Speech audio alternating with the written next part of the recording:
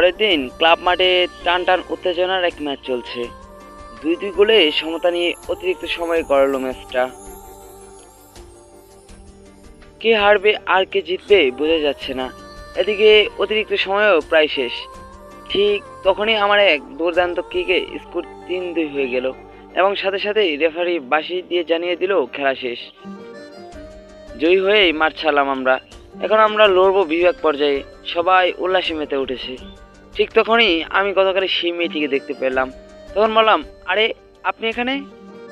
তোমাদের খেলা দেখতে এলাম। ও আচ্ছা। আপনার কাছে একটা প্রশ্ন ছিল। হ্যাঁ বলো। আচ্ছা আপনি তো আমার থেকে বয়সে ছোটই হবেন তাই না? হ্যাঁ। তাহলে তুমি বলে ডাকেন কেন? তুমি বলে ডাকার অধিকারটা তো অনেক আগেই দিয়েছ। আপনি আপনার পরিচয়টা দিবেন প্লিজ। তুমিই বুঝে নাও। কীভাবে বুঝব? জন্মের পরে মনে হয় এই প্রথম দেখা হলো। কিন্তু আপনার কথা শুনে মনে হচ্ছে আপনি আমার খুব কাছের কেউ। হুম কাছেরই তো। বোন? না। কাজিন? না। ক্লাসমেট? না। ফ্রেন্ড? না তবে ফ্রেন্ডের থেকে একটু বেশি। Best friend? না।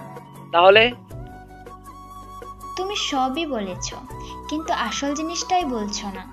আসল জিনিস মানে? আসল জিনিস মানে আসল জিনিস। যদি কিছু মনে না করেন তবে একটা কথা বলি। হ্যাঁ বলো। আচ্ছা আপনি কি আমার গার্লফ্রেন্ড? এই তো এবার ঠিকটা বুঝেছ। কি? আমার গার্লফ্রেন্ডও আছে? হ্যাঁ। আমি সেটা ভুলে গেছি। ভুলেই তো গেছ। শহরে গিয়ে কোন মেয়ের সাথে ইটিস পিটিস করেছ সেটা বুঝে আমি জানি না। বিশ্বাস করো আমি কিছুই করিনি। এত সুন্দর একটা গার্লফ্রেন্ড থাকতে কার সাথে যাব ইটিস পিটিস করতে? হয়েছে হয়েছে। এখন আর নেকা সাজতে হবে না। আচ্ছা সেদিন তুমি আমার সাথে অমন ব্যবহার করলে কেন? কখন? ওই যে নদীর পাড়ে। সরি সরি আমার ভুল হয়ে গেছে। আচ্ছা আমি ইদানিং কাউকে চিনতে পারছি না। কেন বলো তো আমার কি হয়েছে? না না তোমার কিছুই হয়নি। তুমি একেবারে সুস্থ। এ আবির এদিকে আয়। আমাকে ডাকছে আমি যাই। পরে কথা বলব। বিকালে নদীর পাড়ে চলে যেও। আচ্ছা। তারপর আমি চলে যাই সবার সাথে এবং বিজয়ের উল্লাস করি। সামনের সপ্তাহে আমাদের বিভাগীয় খেলা। আমরা এখন জেলা চ্যাম্পিয়ন। ক্লাস থেকে ফিরে বাসায় ঢুকতে যাব ঠিক সেই সময় বাবার কিছু কথা শুনতে পাই যে আমার কানকেও বিশ্বাস করতে বাধ্য করে। সমীর বাবু আপনার কাছে আপনার ছেলের বিষয়ে একটা কথা জানার ছিল। হ্যাঁ বলুন। আমি অনেক দিন ধরে খেয়াল করছি আবিরের ফিরে আসার পর থেকে কেমন যেন হয়ে গেছে। কেন? কিছু হয়েছে নাকি? তেমন কিছু না সেদিন আবিরের সাথে দেখা হলো। ও আমাকে চিনতেই পারল না। ও এই কথা? শুধু আমাকেই না গ্রামের অনেকেই সে চিনতে পারে না। আপনি আমার বিজনেস পার্টনার তাই আপনার কাছে আমি বিষয়টি লুকাবো না। তাহলে বলুন। আসলে আবিরের এই দুর্ঘটনার পর থেকে তার পুরো স্মৃতিশক্তি কিছুই মনে নেই। সে এখন কাউকে চিনতে পারে না। যে যাই বলবে ও সেটাই বিশ্বাস করবে। সেজন্যই বলি ও এতটা পরিবর্তিত হয়ে গেল কীভাবে? আচ্ছা ওর কি আর পূর্বের স্মৃতি ফিরবে না? ফিরতেও পারে আবার নাও ফিরতে পারে। ডাক্তার বলেছে তার স্মৃতিশক্তি ফিরে আসার সম্ভাবনা খুবই কম। খুবই দুঃখজনক। আচ্ছা তাহলে সেই কথাই রইল। আপনি আমাকে বিশ মন মাছ কিনে দিয়ে পাঠিয়ে দিবেন। হ্যাঁ অবশ্যই। আপনি কোনো চিন্তা করবেন না। সময় মতো মাছ পৌঁছে যাবে। হ্যাঁ অবশ্যই। আপনি কোনো চিন্তা করবেন না। সময় মতো মাছ পেয়ে যাবেন। অত বড় লোকটি চলে গেল? এখন আমি বুঝতে পারছি কেন আমি কাউকে চিনতে পারি না। আমার কাছে বিষয়টা পরিষ্কার হলেও আরও একটু পরিষ্কার হওয়া দরকার। এজন্য আমি আমার বাবার কাছে যাই। বাবা তোমার সাথে আমার কিছু কথা ছিল। কি কথা? বল। তার আগে বলো আমি যেটা জানতে চাইব সেটা সত্য জবাব দিবে। হা হা তোর কাছে কি মিথ্যে বলব নাকি? তুই বল। আমি কি অসুস্থ? না তুই একদম সুস্থ। তাহলে আমি কাউকে চিনি না কেন? আমার পূর্বের কথা কিছুই মনে করতে পারি না কেন? আচ্ছা তোর তো লেখাপড়া শেষ। এবার কি করবি? চাকরি করবি নাকি আমার ব্যবসাতে একটু হাত লাগাবি? আমি কিন্তু এটার উত্তর চাইনি। সত্যি? তুই জানতে চাস? তোর ওই ফেরি ডুবির কথা মনে আছে? ওই দুর্ঘটনার পর থেকে তোর পুরনো সব স্মৃতি মুছে গেছে। এজন্যই তুই কাউকে চিনতে পারিস না। একথা আমাকে আগে বলনি কেন? দেখ সব বাবাই তার ছেলের ভালো চায়। তাহলে এত খারাপ সংবাদ তা কীভাবে বলি? আমি এখন সম্পূর্ণ এক নতুন পৃথিবীর মানুষ যার পূর্বে কিছু মনে নেই। আচ্ছা আমার যে স্মৃতি শক্তি হারিয়ে গেছে সেটা কি সবাই জানে? হয়তো হ্যাঁ অথবা না। বিকালে রূপার সাথে আমার দেখা করার কথা ছিল কিন্তু আমি সে কথা ভুলে যাই। গত দুই দিন আমি বাসা থেকে বের হয়ে নাই। দুই দিন পরে আমি রাস্তা দিয়ে যাচ্ছিলাম তখনই দেখা হয়ে যায় রূপার সাথে। আমার চোখে বিস্ময় থাকলেও রূপার চোখে ছিল রাগ। কি ব্যাপার? সমস্যা কি তোমার? কই আমার আবার কিছু সমস্যা? আগে একবার ডাকলেই ছুটে চলে আসতে আর এখন দেখাই করতে চাও না। দেখো আমার সেসব কিছু মনে নেই। এতটা অবুঝ তুমি নও। আমি জানি না তুমি বিষয়টা জানো কিনা তবুও বলছি। হ্যাঁ বলো। আমি আমার পুরনো সব স্মৃতি হারিয়ে ফেলেছি। তোমার সাথে কাটানোর দিনগুলোর কথা আমার কিছু মনে নেই। সেটা তো আমি আগে থেকেই জানি। জানো কীভাবে? নিলয়ের কাছ থেকে শুনেছি। তার মানে তুমি এতদিন বিষয়টা জানতে? হ্যাঁ জানতাম। তারপর থেকে আমার প্রতি করোনা দেখাচ্ছ তাই না? তোমার প্রতি করোনা কেন দেখাবো?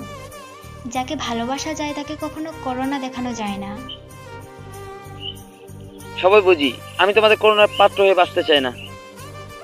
আরে তুমি এমন কথা বলছো কেন? ভালো থেকো যদি কখনো আমার স্মৃতি ফিরে আসে তবে আমিও ফিরে আসব তোমার কাছে।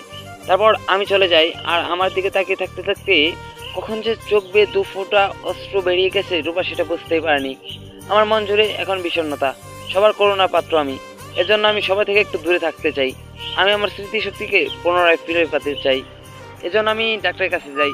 ডাক্তার সাহেব আমি কি আমার পুরনো স্মৃতিগুলো আর ফিরে পাবো না?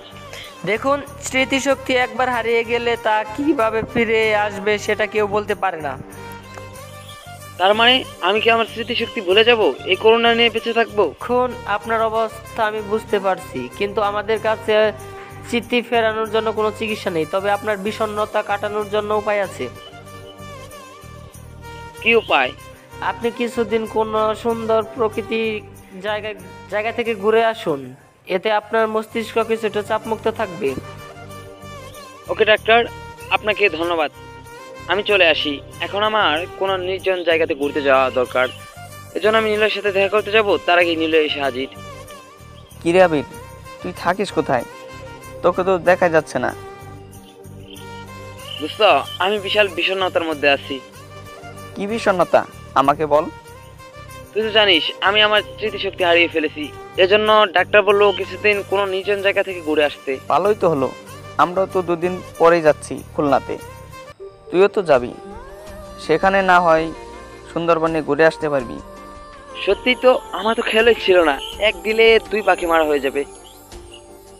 দুই দিন পর আমরা বিভাগীয় টুর্নামেন্টের জন্য খুলনাতে যাই। যখন আমরা খুলনাতে পৌঁছালাম তখন প্রায় সন্ধ্যা। আমরা আরেকটা স্টপে নামবো। যেহেতু বাস থেমেছে তাই আমি বাস থেকে নেমে পড়ি এবং নেমে পানির বোতল ও কিছু খাবার কিনতে যাই। সেখান থেকে নতুন গল্পের মুড শুরু হয়। মামা দুই বোতল মিনারেল ওয়াটার আর দুইটা ব্রেড দিন তো। কত টাকা হয়েছে? একশো বিশ টাকা। এই নেন। অতপর আমি খাবার নিয়ে বাসায় উঠে আসি। দোস্ত এই নে আপাতত এগুলি খেতে হবে। এগুলি তো খাব। যদি টিমের বাসায় যেতাম তাহলে না খেয়ে থাকতে পারতাম না। কেন যে তোর সাথে এলাম। চা খাবি? খাওয়া খাওয়া যেতে পারে। চল গিয়ে চা খেয়ে আসি। পাঁচ ছেড়ে চলে যাবি। চা পরে খাওয়া যাবে। আরে গেলে যাক। আমরা না হয় পরের স্টপে অন্য লোকাল বাসে চলে যাব। চল। তারপর দুজনে চা খেয়ে বাসের অপেক্ষা থাকি। কিন্তু ঘণ্টা পার হয়ে যাওয়ার পরেও কোনো বাসের দেখা মিলল না। দেখ তোর কথা শুনতে গিয়ে এখনও রাস্তায়। এখন পর্যন্ত একটা বাসেরও দেখা মিলল না। সত্যি তো? আচ্ছা এই শহরে কি বাস চলে না? মোহনগড়ি শহরে তো অনেক বাস চলে কিন্তু আজও একটাও দেখতে পাচ্ছি না। তাহলে আর কি একটু অপেক্ষা করি। তুই অপেক্ষা কর আর আমি পাশের দোকানে গিয়ে খোঁজ নিয়ে আসছি। তারপর নিলয় চলে গেল এবং কিছুক্ষণ পর তথ্য নিয়ে ফিরে এলো। কিরে কি তথ্য পেলি? আজকে নাকি লোকাল বাস মালিক ধর্মঘট ডেকেছে।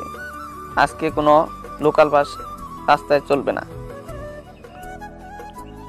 তাহলে এখন উপায়? উপায় আর কি? আমি তোর কাঁধে বসবো আর তুই দৌড়াবি। দোস্ত ওই দেখ একটা সিএনজি চল ওটাতে উঠে চলে যাই। তারপর সিএনজির কাছে গিয়ে দেখলাম সিএনজিতে আগে থেকেই লোক উঠেছিল।